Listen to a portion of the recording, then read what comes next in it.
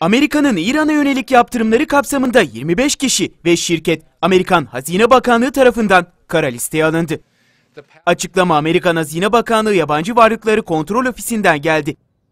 Şirket ve kişiler İran Devrim Muhafızları, İran Savunma ve Silahlı Kuvvetler Lojistik Bakanlığı'na para aktarımında rol oynadıkları gerekçesiyle listeye alındı. Listede İstanbul Kapalı Çarşı'da bulunan iki döviz şirketiyle bağlantılı bir Türk ve bir İran vatandaşı da bulunuyor.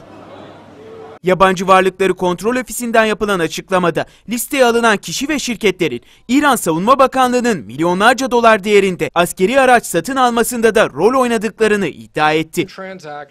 Amerikan Hazine Bakanı Steven Mnuchin konuyla ilgili bugün İran rejiminin 1 milyar dolardan fazla fonu yasa dışı hareket ettirmek için kullandığı bir düzeni bozmak üzere İran, Türkiye ve Birleşik Arap Emirlikleri'ndeki paravan şirket ve şahıslar ağını hedef aldık ifadelerini kullandı.